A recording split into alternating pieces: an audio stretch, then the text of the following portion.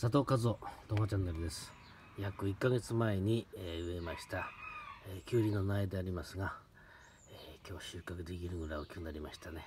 大体20センチ弱ぐらいありそうです、まあ、もう少し大きくしてもいいんですが、まあ、その上にもたくさん、えーこれからなりそうなので今日は収穫したいと思います、まあ、この他にはこれ1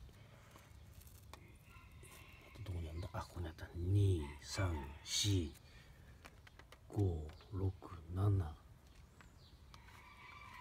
8、9、10この実入れて10個なりますね。いやすごいですねこれね。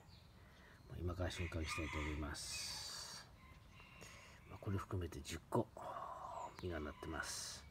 終わります。